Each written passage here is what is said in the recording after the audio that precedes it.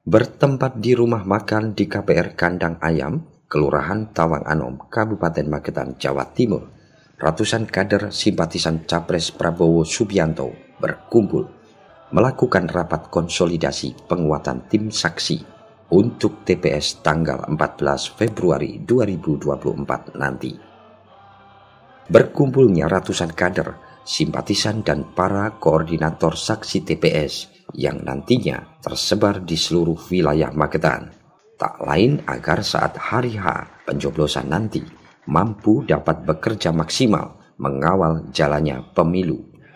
Terlebih ratusan kader DPC Partai Gerindra Magetan ini agar dapat ikut serta mengawal suara caleg, capres, cawapres yang diusung Partai Gerindra di seluruh TPS di Magetan khususnya dan di TPS skala nasional pada umumnya seperti di pemilu sebelumnya.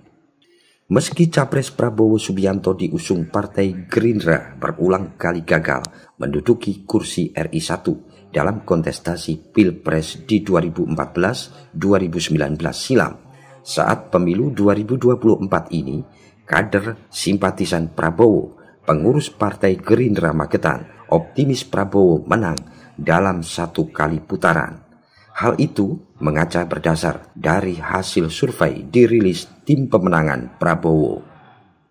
Menurut Ketua DPC Partai Gerindra Magetan, saat memimpin rapat konsolidasi kader dan saksi Partai Gerindra, pihaknya solid berkomitmen memenangkan para caleg Gerindra juga capres Prabowo Gibran satu kali putaran. Acaranya adalah pemantapan koordinator saksi per desa. Terus ini nanti yang di prioritaskan mungkin terkait apa ini? Terkait dengan tugas dan kewajiban koordinator saksi sekaligus nanti untuk mendelegasikan tugas dan kewajiban saksi di TPS masing-masing. Untuk target mungkin di Magetan. Menang targetnya. Kita elektabilitas sedang tinggi kita sambut itu untuk menang. Artinya tidak dalam prosentase artinya pokoknya menang mutlak gitu ya harapan kami seperti itu harapan besarnya.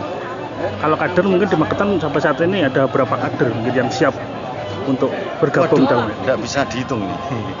Ada sukarelawan itu banyak sekali dan kami tidak bisa mendetek satu-satu. Dari Magetan tim liputan Garda TV